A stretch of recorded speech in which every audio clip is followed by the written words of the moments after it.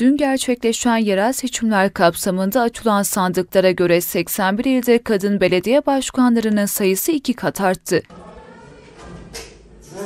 Türkiye yerel seçimleri geride bıraktı. Seçimlerin en dikkati çekeni ise kadın adaylar oldu. Resmi olmayan sonuçlara göre bu kez 81 ilin 11'ini kadınlar yönetecek. Gaziantep'te Büyükşehir Belediye Başkanlığı yarışını AK Parti adayı Fatma Şahin önde bitirdi. İki dönem Gaziantep Büyükşehir Belediye Başkanlığı yürüten Şahin tekrar en çok oy olan aday oldu. CHP'li aday Candan Yücel Tekirdağ'da Filiz Gencan Akın Edirne'de oyları toplamaya başardı. Aydın'da CHP'li Özlem Çerçoğlu %50'nin üzerinde oy aldı. Afyonkarahisar'da CHP'nin kente uzun yıllardır aradığı başarıyı kazandıran isim Burcu Köksal oldu.